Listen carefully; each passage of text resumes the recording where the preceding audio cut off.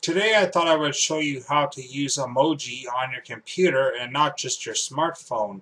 There is a way to use it. You don't have to actually go to a website and copy and paste emoji symbols into sites like Facebook, Twitter, or any other social networking site that allows emoji. You can simply do it from your computer and you'll be using your mouse or touchpad mainly to use emoji on your computer. If you have a touch screen, well that's great, then you'll just be using your finger. So what you do is you right click your taskbar and then you scroll up to toolbars and then you scroll down to touch keyboard.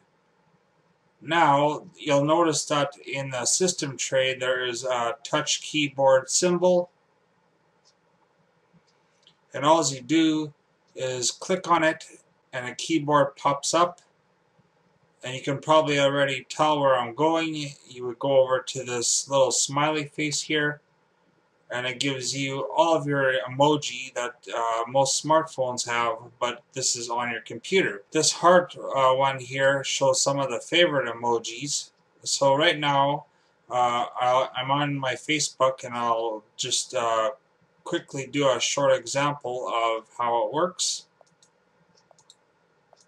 And there you go. As you can see, the emoji have shown up on Facebook, and I'm not using a smartphone. I'm just simply using a touch keyboard or on-screen keyboard on Windows. Subscribe, follow, or visit my YouTube channel.